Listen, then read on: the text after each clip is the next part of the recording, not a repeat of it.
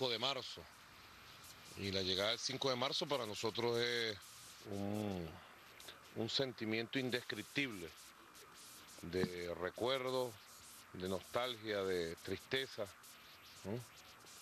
Creo que en este momento es el sentimiento que más llega a todos los venezolanos, ¿no? Venimos de unos días de descanso. Ha sido impresionante cómo el pueblo venezolano ha defendido su derecho a compartir en familia la felicidad. Y ha tomado el carnaval como una trinchera de lucha por la paz. Yo he hecho seguimiento mientras, bueno, también descansaba junto a la familia, junto a los nietos, la familia entera. He hecho seguimiento de toda la reacción positiva del pueblo de Venezuela.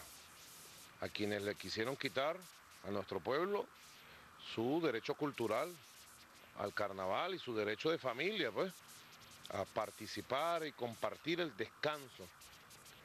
Venimos de esos días, ya hoy es martes, los minutos finales del martes, 4 de marzo, está regresando, mucha gente ya está en sus casas, preparándose para ir a trabajar mañana, preparando a sus niños y a sus muchachos para ir a la escuela, ir al liceo, a las universidades, que arrancan sus clases normalmente. Y con la llegada del 5 de marzo, que es miércoles de ceniza precisamente, llega el primer aniversario de la partida de nuestro comandante Chávez.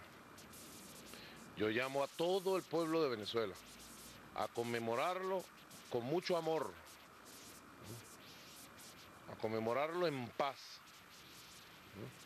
Llamo a la tolerancia, a la convivencia, llamo a la tranquilidad, pues, como ha sido todos estos días y va a seguir siendo. No serán pequeños grupos llenos de odio quienes perturben la tranquilidad y la paz de la inmensa y absoluta mayoría de los venezolanos y las venezolanas que, bueno, primero amamos al comandante Hugo Chávez, lo amamos profundamente. Y durante esta semana, del 5 de marzo al 15, vamos a estar recordándolo. Vienen, bueno, como ustedes vieron, el presidente Evo Morales, hoy en la tarde, mañana en la madrugada, en la mañana llegan presidentes, primeros ministros, cancilleres, vicepresidentes, líderes sociales, políticos, religiosos, de diversas partes del mundo. Y simultáneamente en muchos lugares del mundo se están haciendo eventos culturales, musicales, foros, seminarios de la obra, del liderazgo, del pensamiento del comandante Hugo Chávez.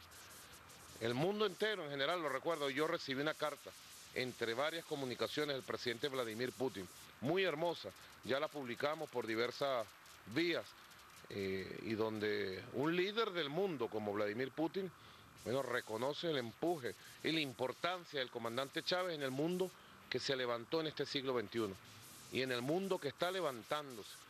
Así que yo llamo a todos los venezolanos a participar mañana con una actitud de reflexión, de recuerdo, de valoración verdadera de quién fue comandante Chávez, quién fue Hugo Chávez como ser humano, quién fue Hugo Chávez como líder de nuestro pueblo, el proyecto que dejó el comandante Hugo Chávez, qué significado tiene para la historia pasada, para la historia presente, para la historia de construcción del futuro en el cual estamos, ¿no?